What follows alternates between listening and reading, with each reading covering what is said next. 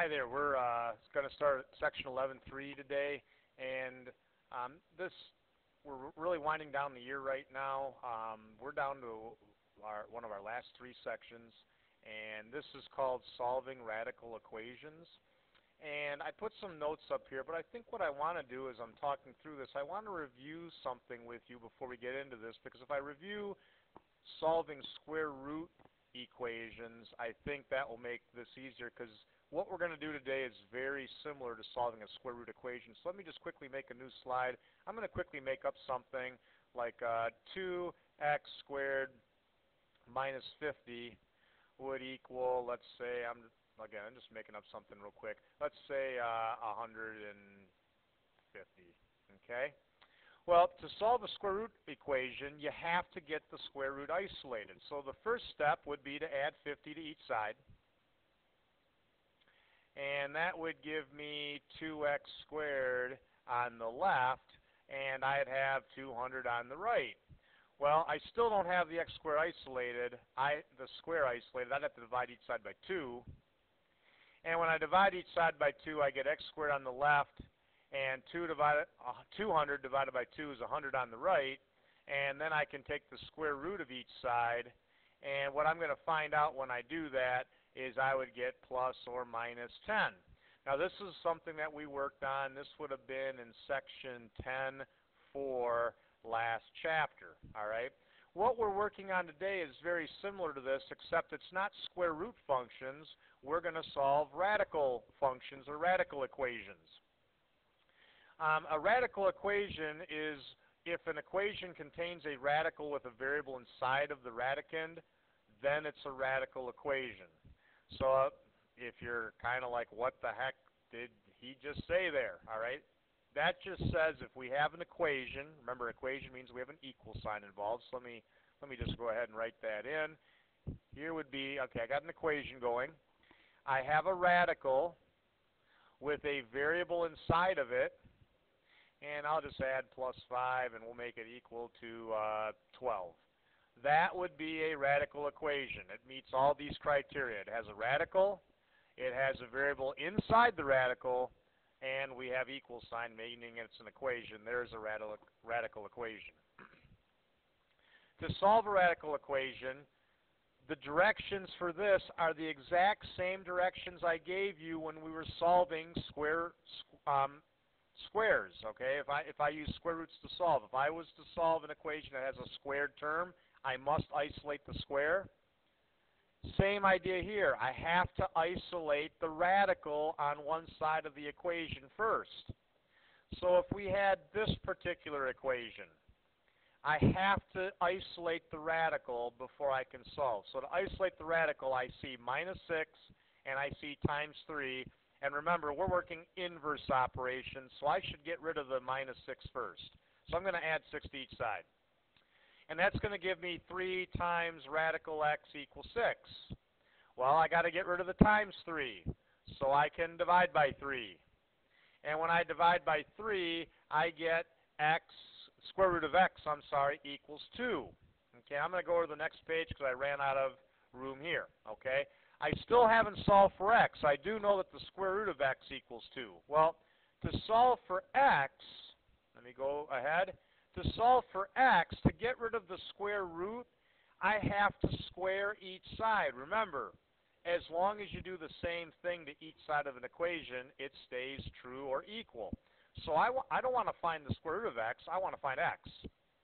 So if I square each side, the square root and square cancel each other out, and I would get x equals 4. These are problems that you must check your answers on, okay? When you square each side of an equation, I just squared each side of an equation, this, this can give you a what's called an extraneous solution, all right? In other words, an extraneous solution means that if we square it, it will work, it would not actually work in the original equation. So unfortunately, whenever you square each side of an equation, like right here, you notice I squared, let me turn on my layer, I squared each side of my equation. Whenever you square each side of an equation, you must check your answers because because you could get what's called an extraneous solution, which means the work is right, but the answer itself doesn't actually work. So let's check this one. Let's go back and see does 4 work. Um, here we go. If I plug in 4 right here, the square root of 4 is 2, and 3 times 2 is 6, and 6 minus 6 does equal 0. This is an actual solution. Okay, and that's what I just showed here. I did check 4. I plugged it in.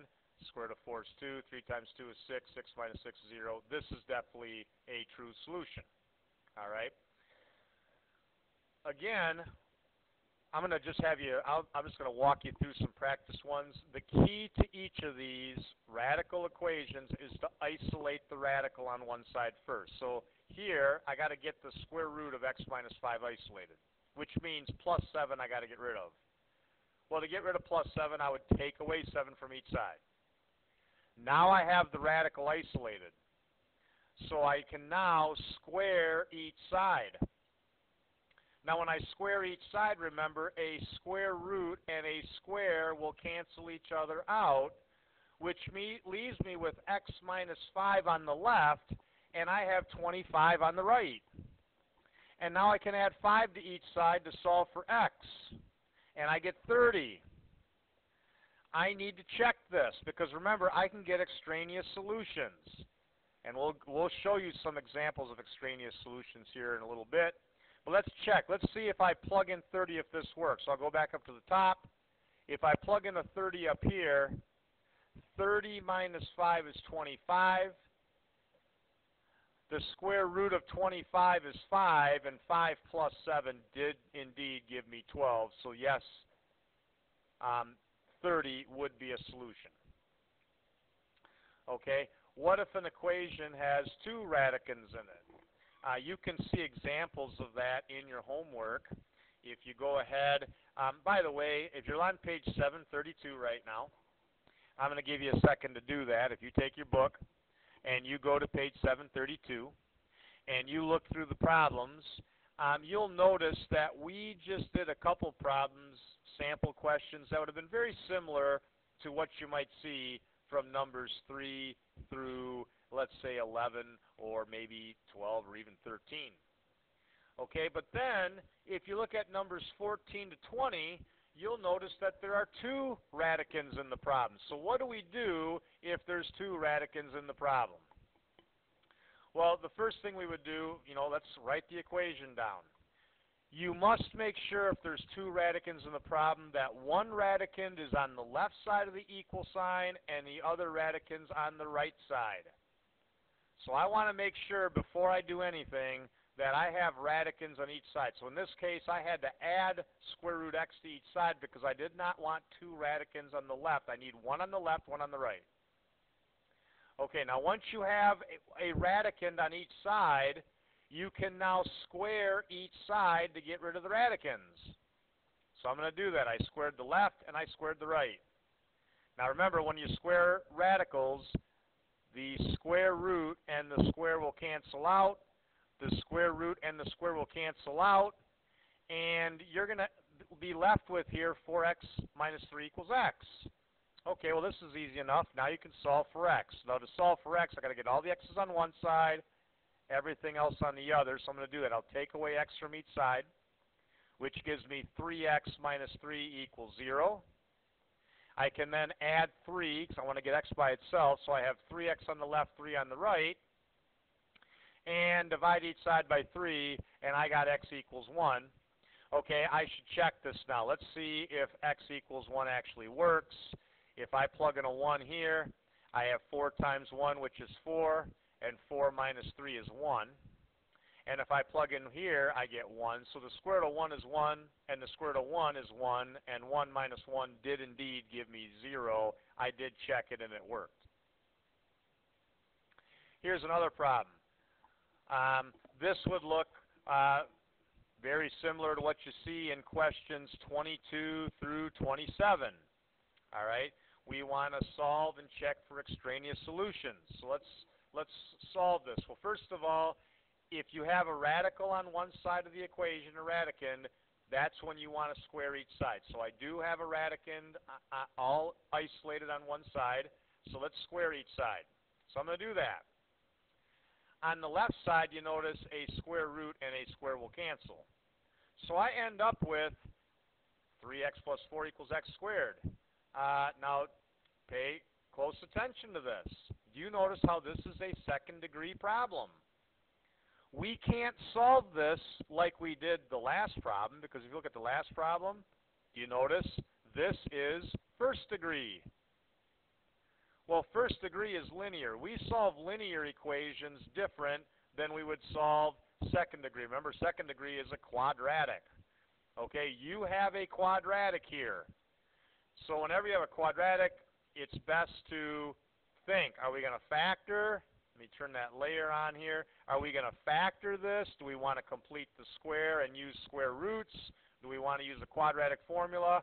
Um, I'm looking at this and I'm thinking this is pretty easy to factor because I know that negative 4 times positive 1 is negative 4, but negative 4 plus 1 is negative 3. So my so negative 4 and positive 1 multiply out to negative 4. Negative 4 plus 1 is negative 3. Factoring is easy. I get two solutions. If I plug a 4 in here, I get 0. If I plug a negative 1 in here, I get 0. I have two solutions. I have 4 and negative 1. Okay, but remember, I got to check this. I got to check for extraneous solutions. So let's check these, okay? Let's plug in 4 first. If you plug in 4 here, you're going to have 3 times 4 is 12, and 12 plus 6, I'm sorry, 12 plus 4, let me freeze this, my phone's ringing. Apologize for that, my phone was ringing, I had to answer the phone. So anyway, um, x is 4, so if I plug in 4, let's check that. 3 times 4 is 12, and 12 plus 4 is 16, so I get 16 in here. If I plug in 4, I have 4 here. Let's see, is the square root of 16 equal to 4? Uh, the square root of 16 is 4. So yes, x equals 4 checks. Now let's see if negative 1 works, because according to this, one of my roots is negative 1. Let's plug in negative 1. Let me go back up to the top. If I plug in negative 1 here, I have 3 times negative 1 plus 4. That's positive 1. If I plug in negative 1 here, I get negative 1 is the square root of 1 equal to negative 1? Uh, no, it's not. Okay, square root of 1 equals 1, not negative 1. That's giving me an extraneous solution, and uh, so that would be an example of an extraneous solution. That solution did not work in this situation. Okay, whenever we're doing square roots here, um, when we're solving for a radical equation, we always assume that the square root is going to be the positive root. Okay? Uh, let me get this thing out of the way. I think I have one more example. Let's look at number 22 in the bookwork. This would be an example just like the one I previously walked through. I do have a square root isolated. So I'm going to square each side. And squaring each side will cancel the square root in the square. On the right side, I have x squared equals 42 minus x. I can move everything to one side and put 0 on the other. Now, this is easy to factor because isn't positive 7 times negative 6 negative 42? But positive 7 plus negative 6 is 1. So this would factor into x plus 7, x minus 6 equals 0, which means I get two solutions. x could be 7 or x, I'm sorry, x could be negative 7 or x could be 6. I misspoke. x could be negative 7. If I plug in a negative 7 here, I get nothing. If I plug in 6 here, I get nothing. So negative 7 and 6. Let's check. Because you can see I already crossed out one of these. This is extraneous. Let me show you why. If you plug in negative 7 here for x, and you plug in negative 7 here for x, you get 42 minus negative 7, which is 49. The square root of 49 is 7 and but x over here is negative 7. So those do not work out. But if you plug in 6, 6 will work. Um, if you put a 6 here and a 6 here, this is 36 under here. The square root of 36 does give you 6. So 6 does check, negative 7 doesn't. I hope that video made sense. All right. Um, obviously, if any questions, we can go over those in class tomorrow.